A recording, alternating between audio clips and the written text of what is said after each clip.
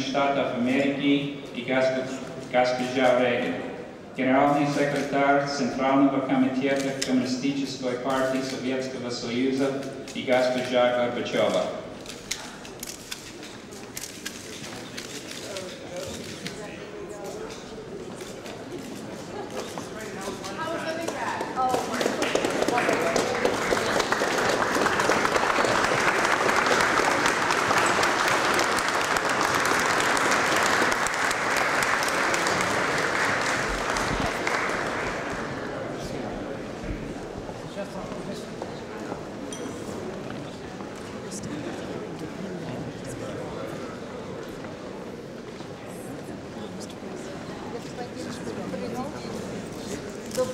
Secretary, distinguished guests and friends, it's a pleasure to host all of you tonight and to reciprocate in a small way the hospitality you lavished upon us yesterday evening.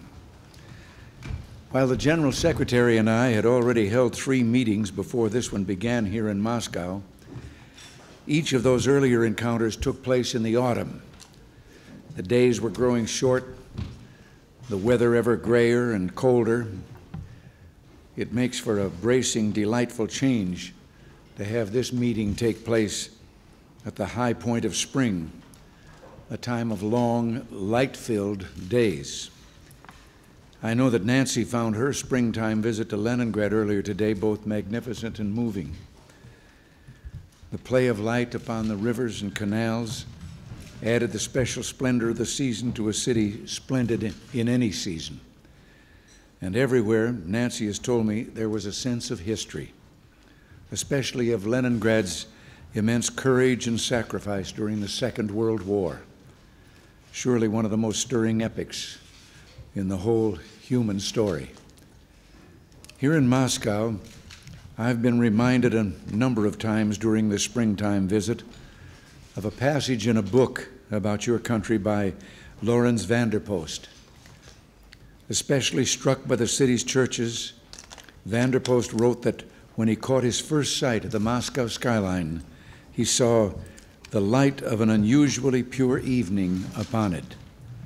That light was alchemical, and it transformed Moscow into a city of gold the tops of the spires and pinnacles drawing the rigid forms of the skyscrapers after them into arrows of gold aimed at the arched and timeless blue. End quote. So we too have found Moscow a city of beauties, a city especially whose spinnacles and spires reminded one at virtually every turn of man's ancient capacity for aspiration, for reaching out toward the light. It's a particular pleasure to be able to welcome you to Spaso House, a house of considerable beauty in its own right, the residence of our ambassadors to the Soviet Union. During the 55 years of diplomatic relations between our two nations, Spaso House has served as one of the principal settings for exchanges between us, exchanges formal and informal alike. There have been some splendid moments within these walls.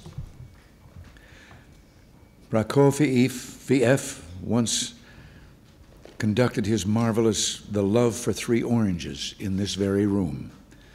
As wartime allies, our representatives met often under this roof, and Ambassador and Mrs. Matlock have continued the tradition of making Spaso House a centerpiece of American culture a place to receive and talk with Soviet officials and with people from all walks of life and from all parts of the Soviet Union.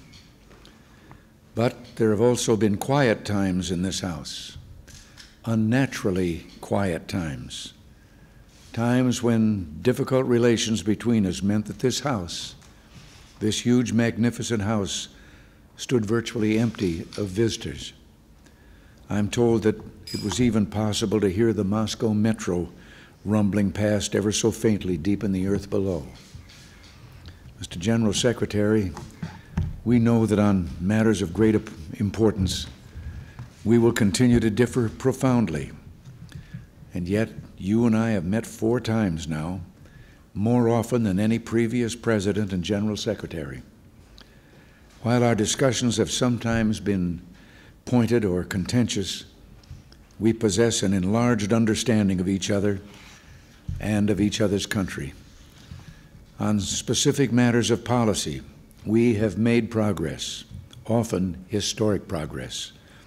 And perhaps most important, we have committed our nations to continuing to work together, agreeing that silence must never again be permitted to fall between us.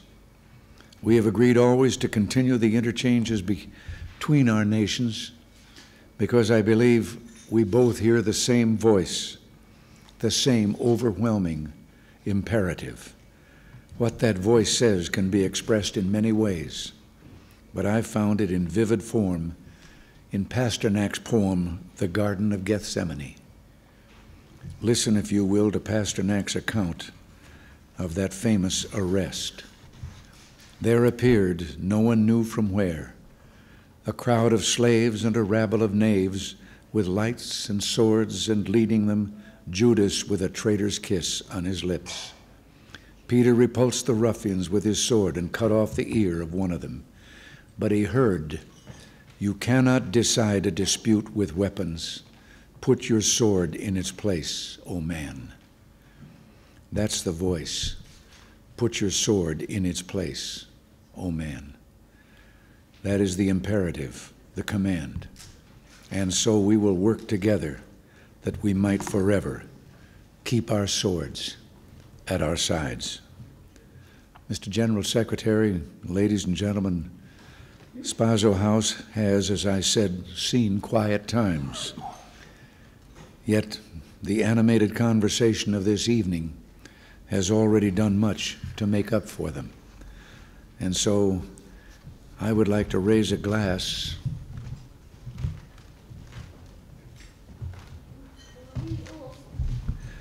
a glass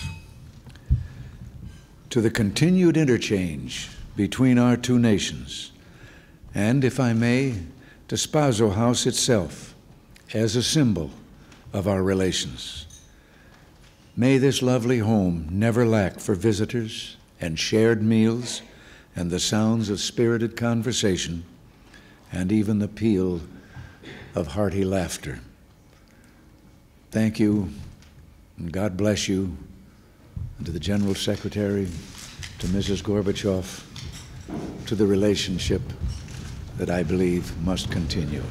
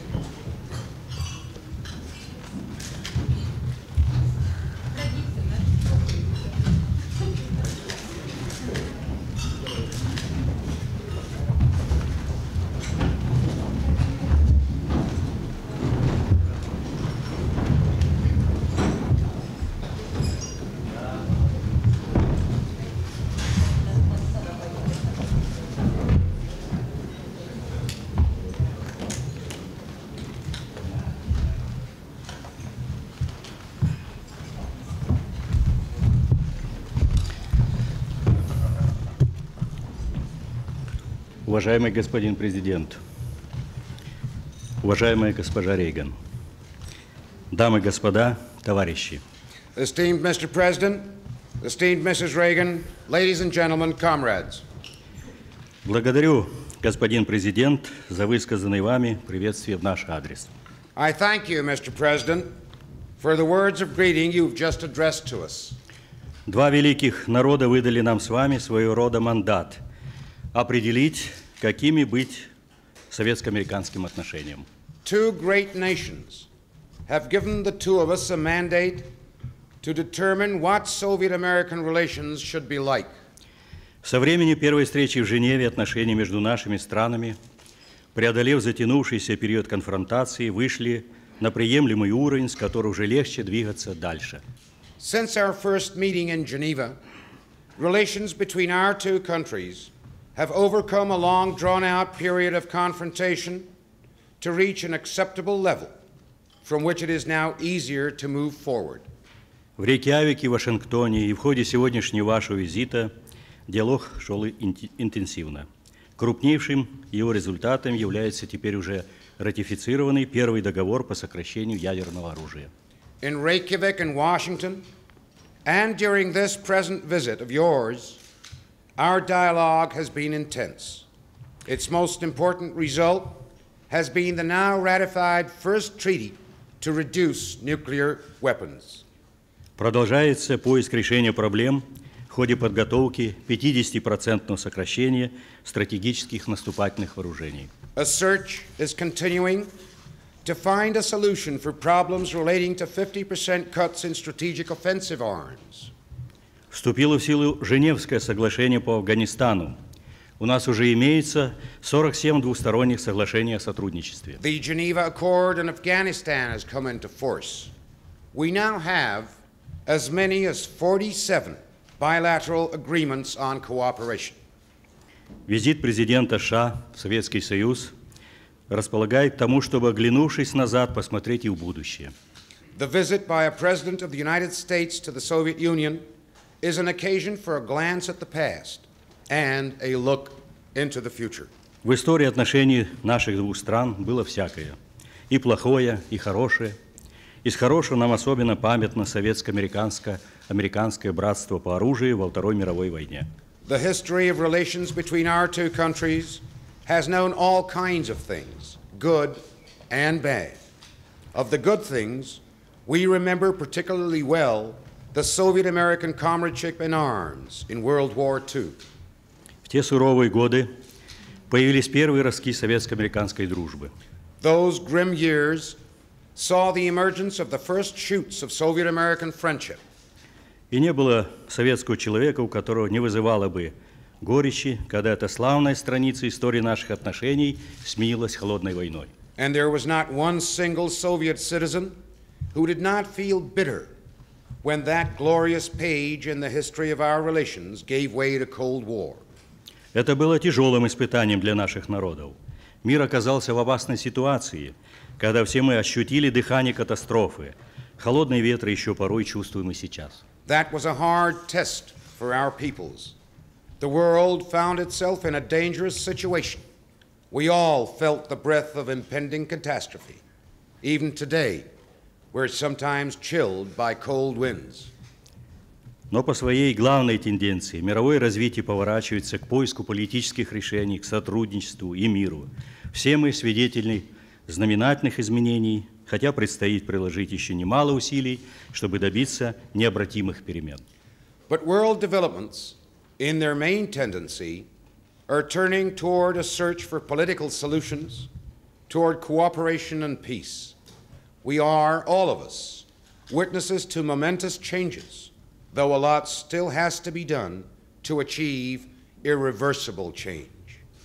Хотя, хотя все взывает к сотрудничеству, к доверию, но предрассудки, стереотипы еще действуют, соперничество сохраняется и в первую очередь в военной сфере. О его бессмысленности и катастрофичности много говорилось и на данной встрече. Более того, мы можем констатировать известное продвижение к лучшему взаимопониманию и в этой области. Although everything urges cooperation and trust, prejudices and stereotypes are still with us, as is rivalry, above all in the military sphere. A great deal has been said at this meeting, too, about how pointless and catastrophic it is. More importantly, we can register some headway toward better mutual understanding in this area as well.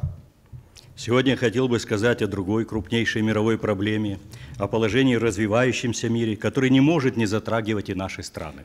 Today, I would like to address another major world problem the situation in the developing world, which cannot but affect our countries too. Проблемы, с которыми столкнулись развивающиеся государства, оказались до трагизма трудными. The problems which the developing countries face have turned out to be difficult to the point of tragedy.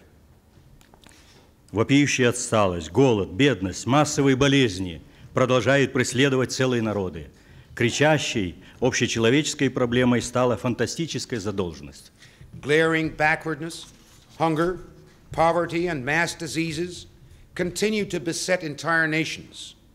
An incredibly high debt has become an excruciating and universal problem.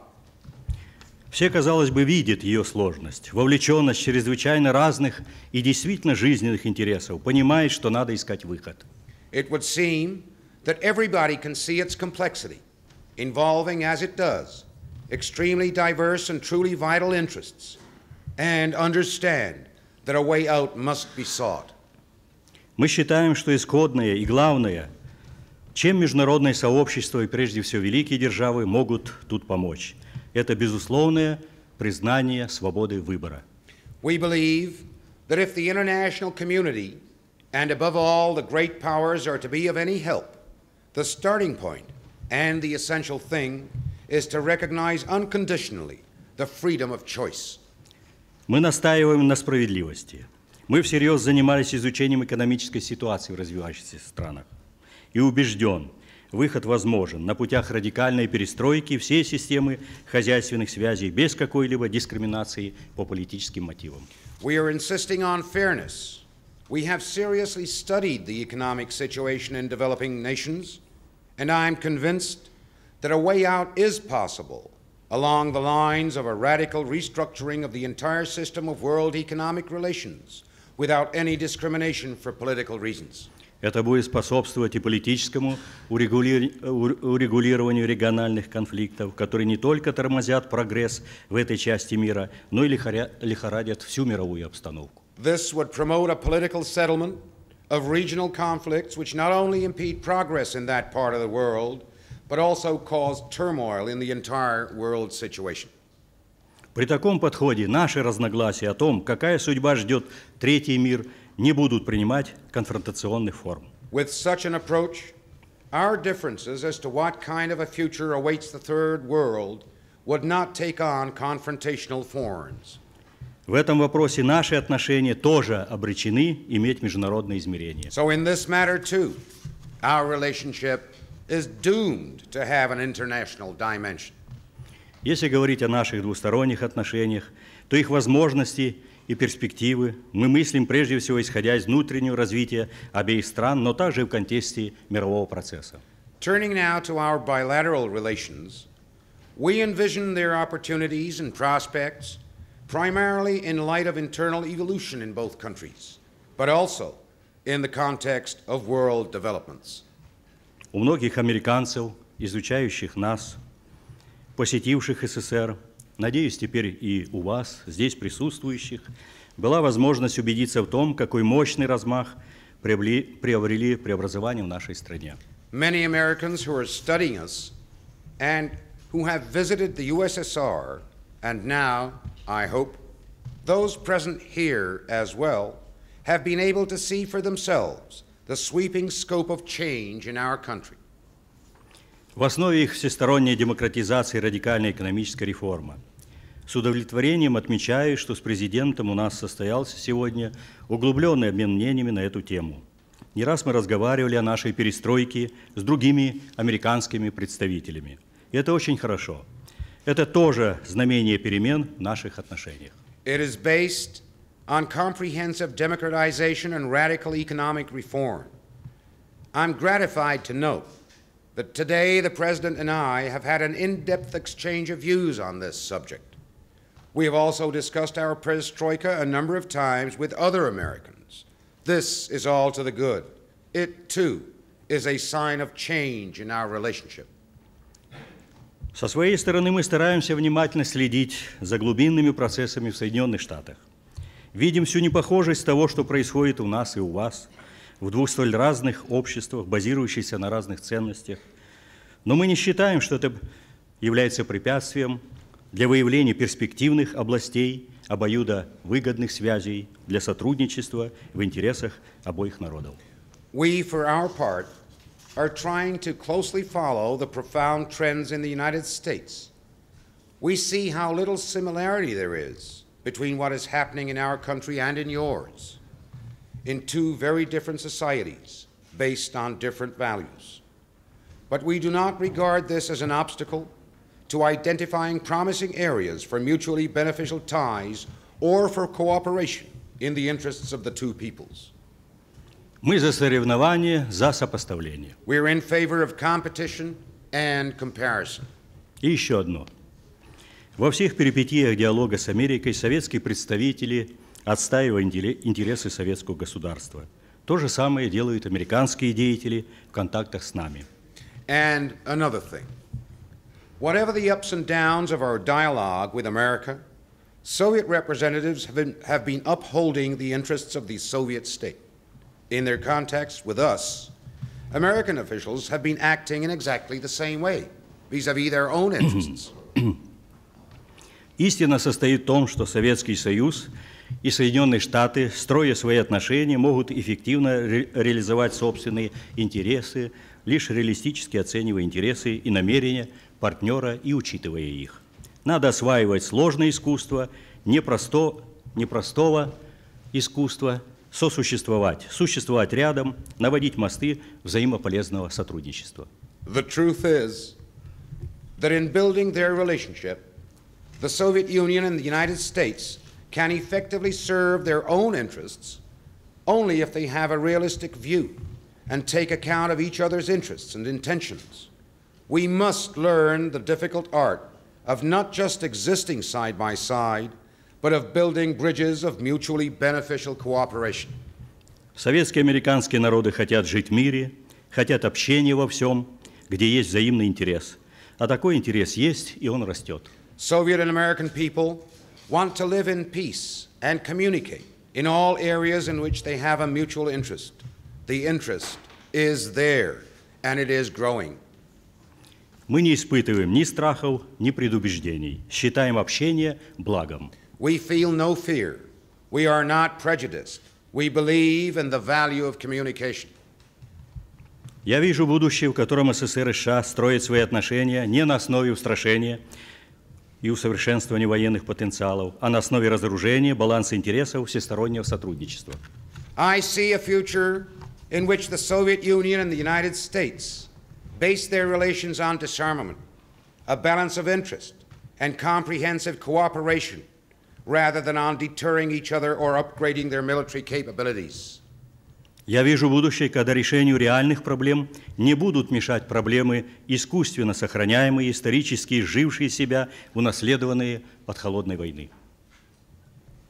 I see a future in which solutions to real problems are not impeded by problems historically outdated, but artificially kept alive, inherited from the times of the Cold War.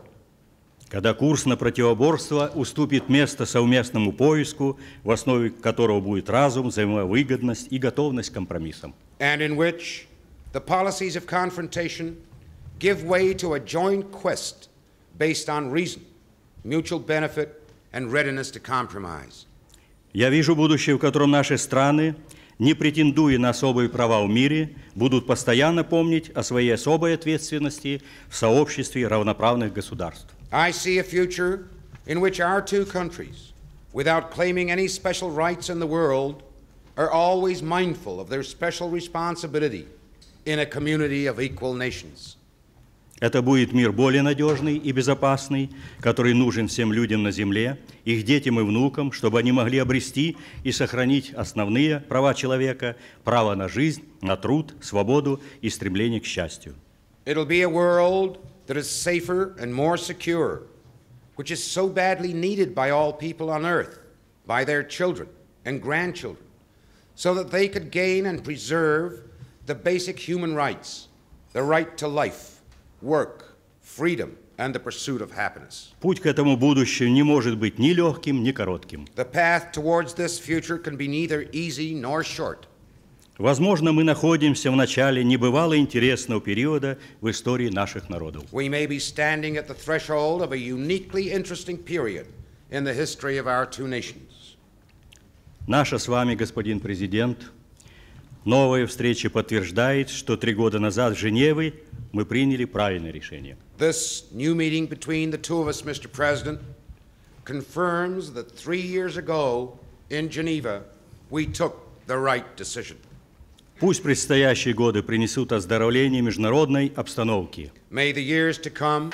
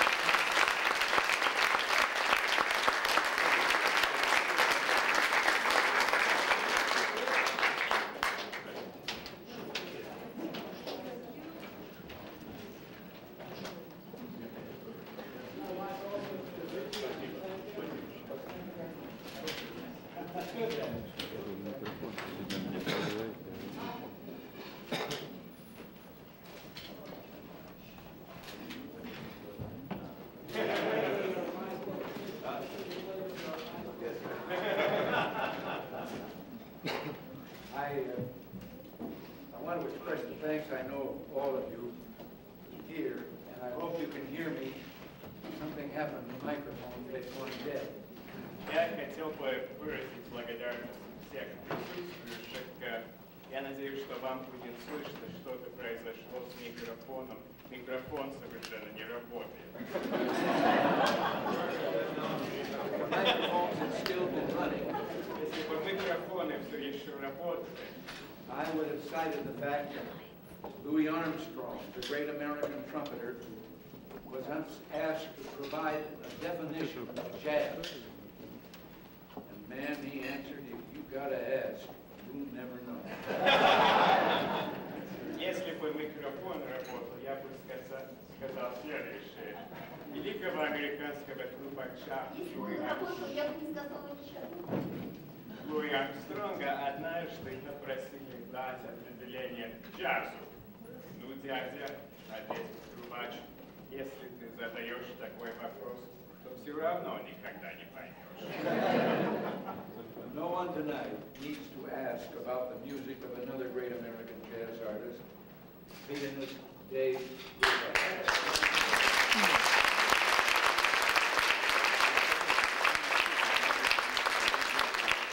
Сегодня никому не требуется спрашивать о музыке другого великого американского исполнителя джаза, пианиста Дэйва Брубека. The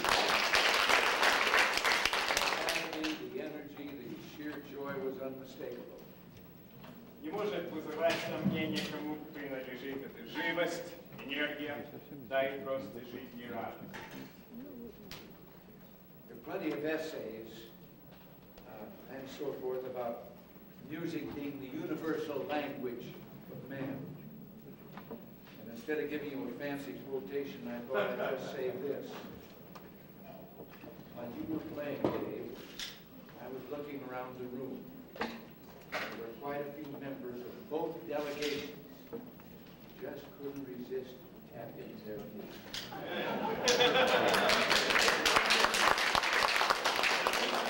Статей проучевает о том, что музыка, мол, универсальный язык человечества.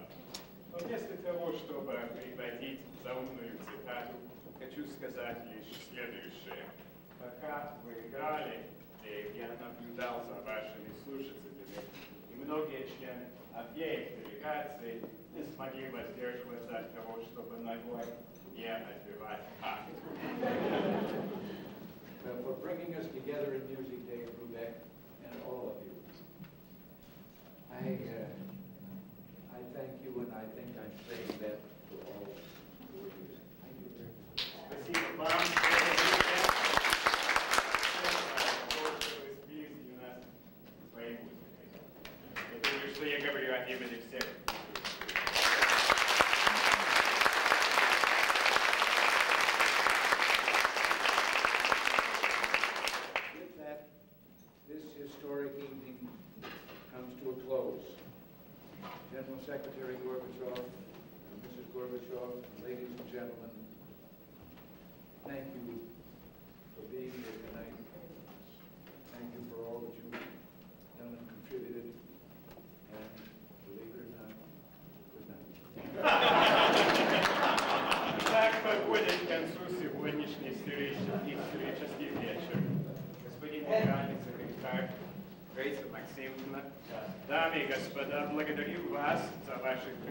членца все, что мы сделали.